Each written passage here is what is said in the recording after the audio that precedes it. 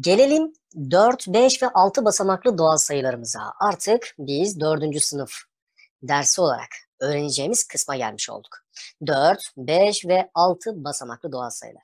Şimdi ne demiştik? Bir doğal sayıdaki rakamların sayısı aynı zamanda basamak sayılarını bulmamızı sağlıyordu.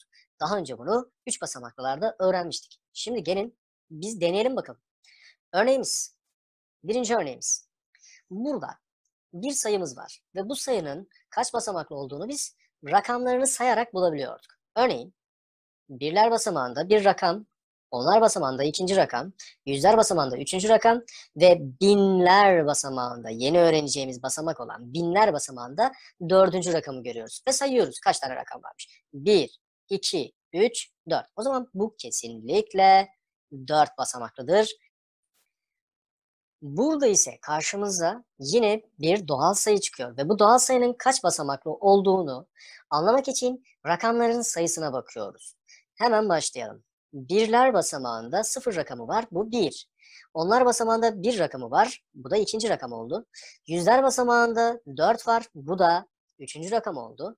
Binler basamağında iki var, bu bizim dördüncü rakamımız oldu. Ve on binler basamağı olan basamağımızdaki 3 ise bizim 5. rakamımız oldu. Böylece kaç basamaklı olduğunu da görmüş olduk. 1 rakam, 2 rakam, 3 rakam, 4 rakam ve 5 rakam. Bu doğal sayı 5 rakamdan oluşuyor. O zaman kesinlikle 5 basamaklı bir sayı elde etmiş olduk. Burada gördüğümüz doğal sayımız ise 5 rakamdan fazlasına sahip. Sayalım.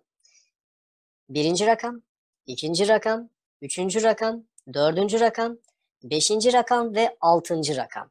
Dikkat edin biz şuraya kadar olan her bir sayıyı 3 basamaklı olarak zaten biliyoruz. Ama artık 4. sınıfız ve yeni basamaklar ve yeni de rakamlar geldi. O yüzden bunların sayısı kaç basamaklı, rakam sayısı bize kaç basamaklı olduğunu söylüyor. Yine gördüğümüz gibi burada binler, burada 10 binler, burada da 100 binler basamağı var. Ve doğal olarak 6 tane rakama sahip olduğu için bu sayımızda 6 basamaklı bir sayıdır diyoruz.